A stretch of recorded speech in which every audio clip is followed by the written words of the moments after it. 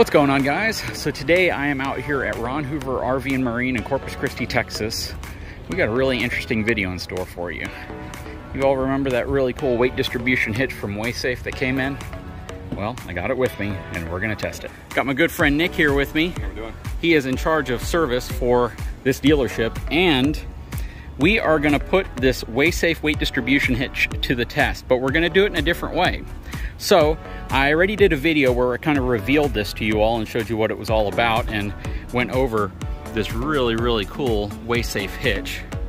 One of my favorite features about this is the fact that it has this adjustment kind of screw already built in place that allows you to load the actual weight distribution portion of this up without having to preset it before you put it on the truck like a lot of them do.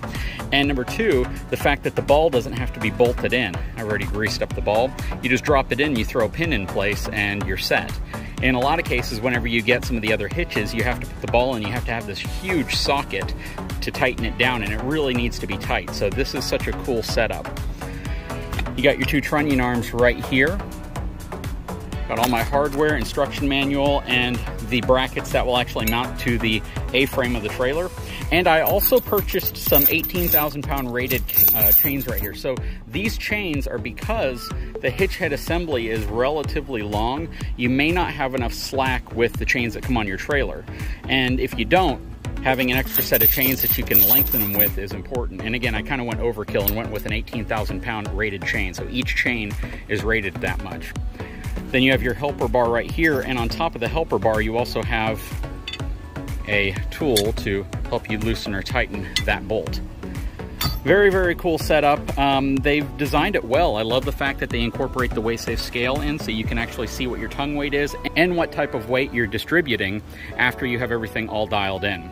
But we're gonna go ahead and get this installed on a trailer here at Ron Hoover. We'll be right back.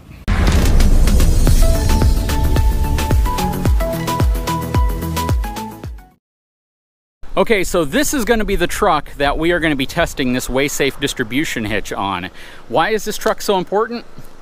Because this is Nick's personal vehicle.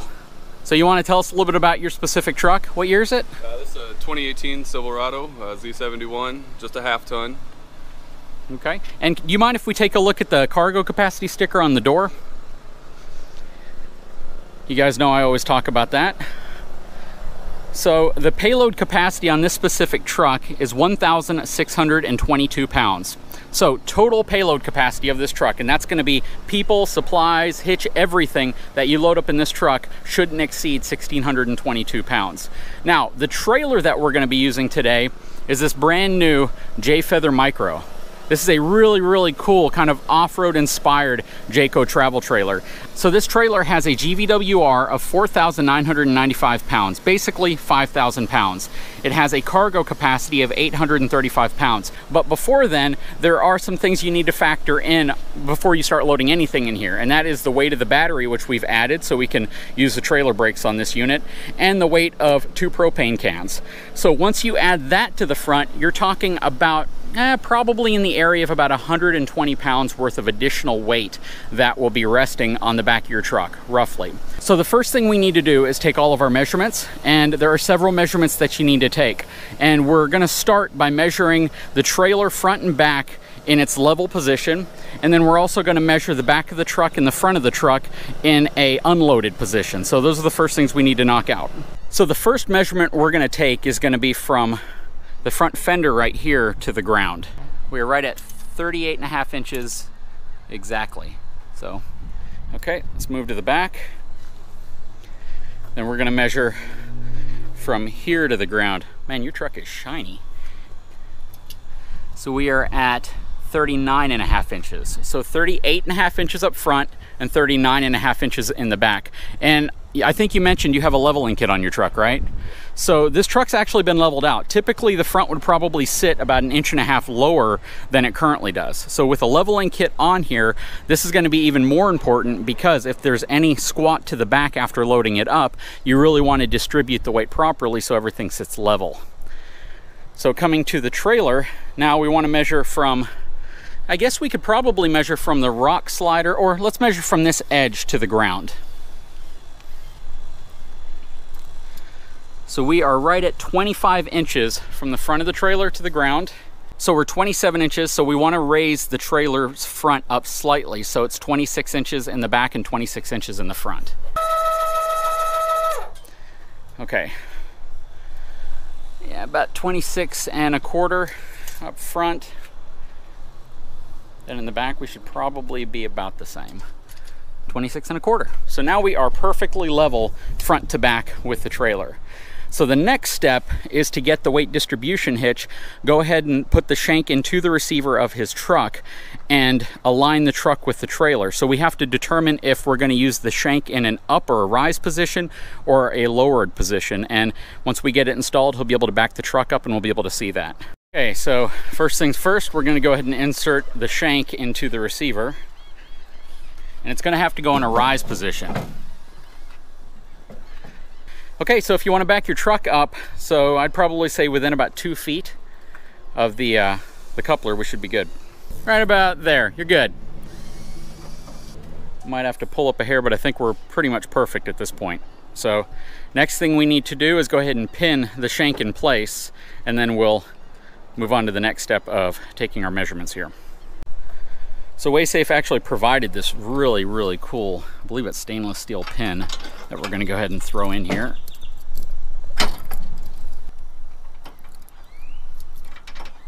Okay, pins in place.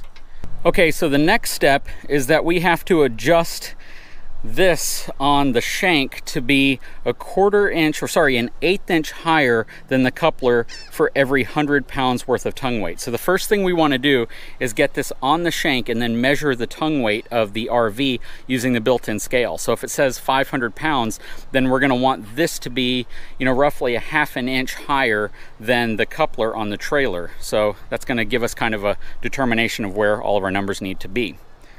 So that'll be the next thing we do.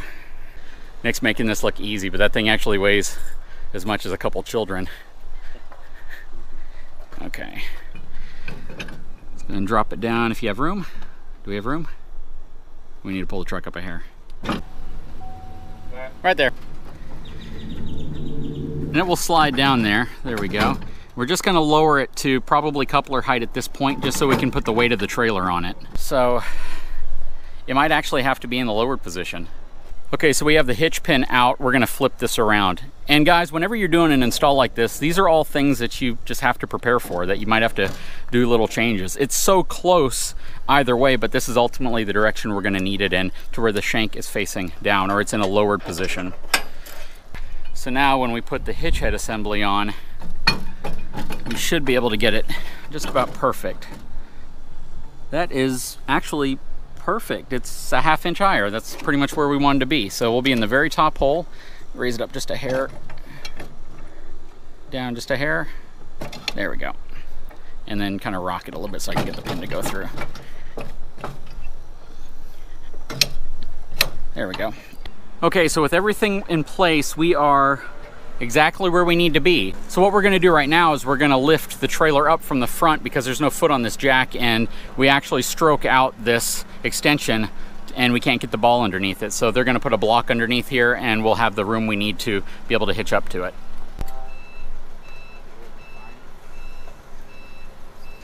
Okay, well, that's actually perfect. That's exactly the amount of space we needed. So we're in a good position here. We're in a good position here. We're gonna back the truck up underneath it. Go ahead and lower the tongue down so we can see what our tongue weight is, and that will let us know specifically how high this needs to be. But considering we are, again, I'm guessing it's gonna be roughly about 500 pounds worth of tongue weight, and considering we are at the highest possible level here, if this is significantly heavier or lighter than we're thinking, then we'll have to make a, an adjustment here, but I don't think we're gonna be. So next step, let's go ahead and back the truck underneath it, and measure what the tongue weight is.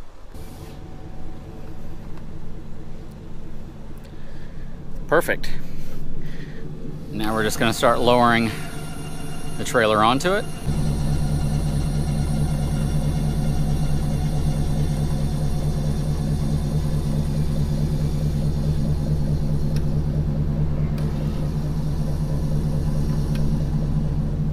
Looks like we're actually closer to about 600 pounds worth of tongue weight. So honestly, we're set up perfectly.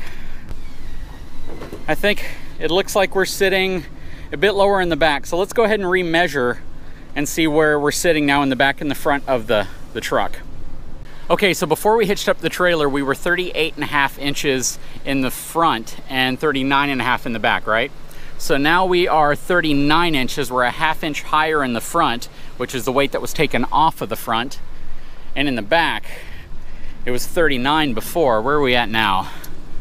So we're at 37 and three quarters. So we dropped one and three quarter inches in the back of the truck with the tongue weight from the trailer applied. Now, let me give you a perspective here. Adam, could you do me a favor? Could you hop in the bed of this truck real quick? You don't have to tell me how much you weigh, but just to kind of show with the added weight of a person, let's see how that affected your, your height back here. So now we dropped another quarter of an inch. So we're 37 and a half inches now. So it dropped a quarter of an inch with Adam's weight in the back. And you know, if three more people hopped in this truck in different areas of the truck, you'll see the suspension sit lower in the front and the back because of course you're adding hundreds of pounds of additional weight. So I just wanted to kind of express that because you're adding weight to this truck which takes away from the cargo capacity. Anyways, we are actually set up properly for how we need to do this. Um, the, the hitch is the right height for the coupler. We know that we're at 600 pounds. We were roughly a half an inch over the top of the trailer coupler, which is where we want to be. So we can move on to the next step.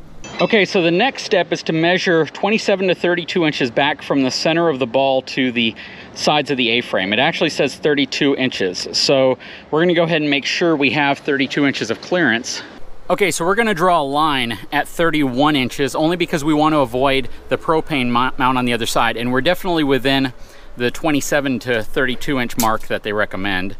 So at 31 inches, that'll put us right around there. And we'll do it on the other side as well. Right in the center of the coupler, right there in the 31 inch mark. Okay, so now we know where Adam needs to throw the brackets on. Adam, do you install a lot of weight distribution hitches? Uh, yes, we do. we do a bunch of them here, all different kinds. Alright. Yep, now the bolt is going to pass through from the outside and go to the inside. So that's the first thing you want to keep in mind. Okay, so the longer bolts are going to be for the A-frame and then these shorter bolts will be for the, the brackets that come through. Okay. And now what the instructions say is that you want to place the carriage bolts through the outside of the C-channel and you want to slip the bracket down on top of the A-frame, which he did. Then you put the second one on. And then the adjustment here is you want it within nine inches to the top of the coupler. So nine inches from the top of the coupler to where the L bracket, the surface of the L bracket. So basically this part of the L bracket. So so the top of the coupler is right at about two and a half inches. So two and a half inches right here. So drop it down just a little bit more right there. If there are holes right there, there are. So we can lift it up just a hair. And this is where we want the brackets to sit. So once we tighten everything down, this is essentially how the brackets will rest. And the reason for this is these trunnion arms, when they come out, they need to rest as flat as possible on these L brackets because that's where you get your friction, weight distribution, and sway control. Your sway control is from it rubbing up against this bottom platform right here, and your weight distribution is from it pressing down on these L brackets. So you have two areas of sway control. One right here, whenever you start putting pressure here, it's gonna bind inside of here. So that's one area of friction on each side. And your second area of friction is gonna be the rubbing right here. So regardless of the brand you have in weight distribution hitch, you do need to make sure that your brackets or your bars coming off, your trunnion bars, are resting flat on these L brackets. That is the single most important thing you need to remember when it comes to properly setting up a weight distribution hitch. Okay, so next is tightening these down to the correct torque specifications, which they're saying for all of these bolts, all four of them on each side, we're gonna tighten them down to 65 foot-pounds. Okay, so Adam has whipped out the good old torque wrench. He's gonna go ahead and get everything torqued down to 65.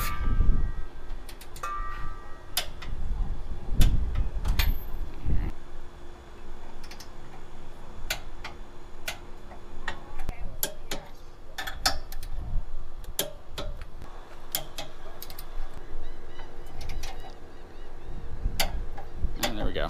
So, we have the brackets installed. We next need to put the trunnion arms into the hitch head down here. Okay, before you can put the actual trunnion arms in, you have to pull these two pins out. Pop these pins out right here. And then once we put the arms in, we're actually gonna slide the pin from the inside out. That way it's a little easier to get to the actual pin. Okay. So, okay. I'm gonna slide a pin in right here. Can you pull this arm out just a hair? There we go. There's one pin. Got it? And here's a pin for you. So these bars need to be pulled straight out, like this, because there's a couple measurements we need to take. Looks like we have a salt spreader on the back now, huh? All right. So, bars are straight out and we need to measure. I think we only really had to do it with one of them, but we went ahead and did them with both. We need to measure from the center of your rear hub, center line right here in the middle of that Chevy symbol, to the center of that bar. Okay, do 60, uh, 61 and a half. So the next one is gonna be from here to the center of that. I believe it's the center. Yep, it's gonna be right to this point right here. So the center, we are at 27 inches. So he's measuring 27.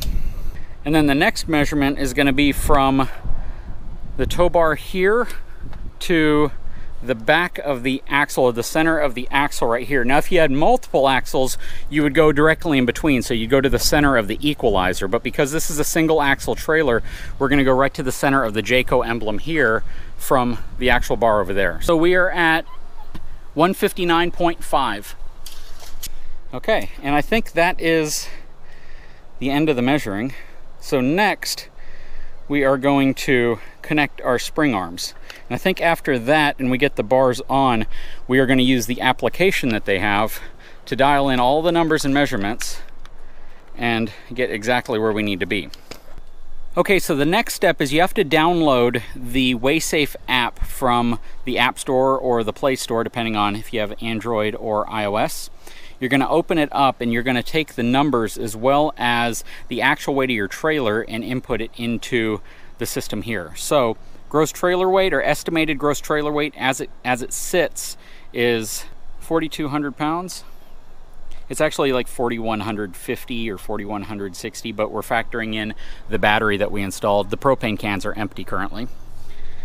Tongue weight was 600 pounds.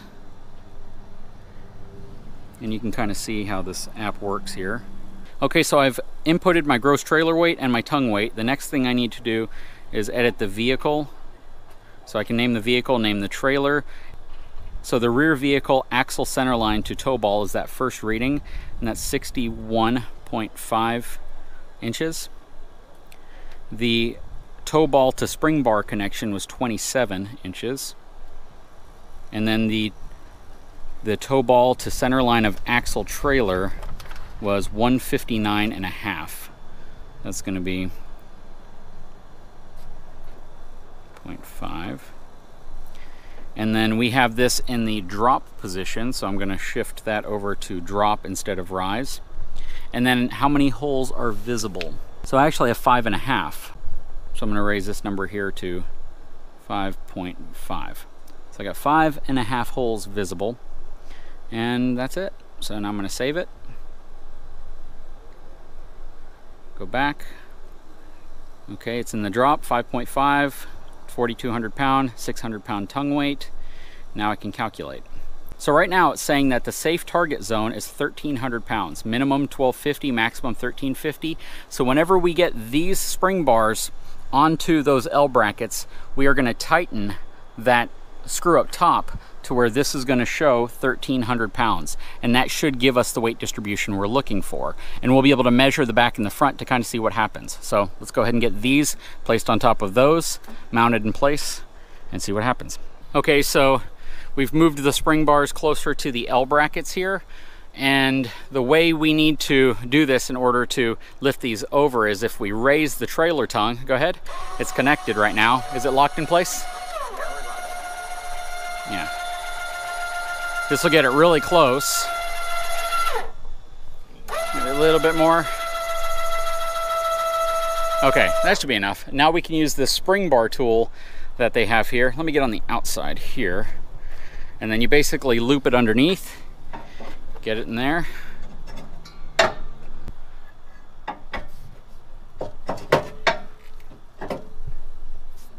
There we go. So we got both of those on. Now we have these pins that are just gonna drop in. And again, this is very similar to most weight distribution hitches in terms of this portion of it. It might be slightly different, but this part's relatively similar. So now we have everything in place and this is really what it's going to look like when it's done too. So now what we want to do is we want to start lowering the trailer to get the weight off. Okay, so now that we have everything connected, what we're going to go ahead and do is we're going to go ahead and get all the weight off of the tongue jack. You're to see the weight transfer over to the hitch here and you can actually see the weight transfer. Look, we have over a thousand pounds of weight that's currently being applied because of the trunnion arms that are in place. So this went up from 600 pounds to almost 1100 pounds. But the tool said we needed to be at 1300 pounds. So that's where we're gonna take that helper bar, wherever it is, I think it's over here on the ground, and we are gonna crank this up to where this gets to 1300 pounds. So there are two grease zerks on this side, one on the top and one on the bottom down here. This is stainless steel, so the only time I've heard of any concern with this, and I don't think anybody's actually broken it, is the fact that you do need to grease this. So if you don't grease this, if there's not grease in there, then there's, there's a lot of friction in here and you just want to be careful. So I would say that one of the first things you need to do is grease this, and he's adding grease to it right now.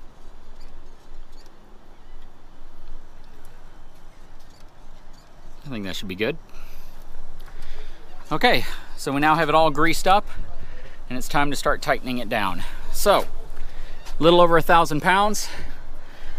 Let's get to 1,300 pounds. They actually say a lot of people use a ratchet for this because it makes the process a little easier because we're moving really slow right now. Got my ratchet right there. Yeah, you might want to use your ratchet if you think you can get enough leverage on it. There we go. Oh yeah, makes things a little easier. We are at 1,200 pounds. Just almost. Come on, man. A little bit more, a little bit more, a little bit more. One more, one more. There you go. 1,300 pounds. So we are now at 1,300 pounds, which is what they recommend using their application. You can see the spring arms are almost exactly parallel to the trailer here. Trailer still looks really nice and level. Let's go ahead and measure the uh, front and back of the truck. Now he does have, again, a small level on the front of his truck, so that might change things a little bit over stock, but I don't think that's gonna matter too much. So let's check out the front. Okay, so before we were at 38 and a half in the front. After we loaded up the trailer, it moved to 39. Now we're down to 38 and three quarters. So it dropped a quarter of an inch in the front. Let's see what it's doing to the back here. So it's raised the back up to 38 inches. So now we have the ability to adjust that even more by turning that screw on the top of it if we want to transfer more weight to the truck or if we want to lift some weight off of the back. So we've gone down a quarter of an inch up front and we've gone up a quarter of an inch in the back on the truck. So if we wanted to, we could add a little bit more weight distribution and level it out a little bit more. You know what? I think we're probably in an okay position right now because the truck, yeah, the truck's not really squatting. It looks pretty level now. I think it's really down to the moment where we take it for a test drive and we see how all of this stuff works. Now keep in mind, our buddy here doesn't actually own a travel trailer and he's towed a boat before, or he tows boats, but not RVs really recreationally.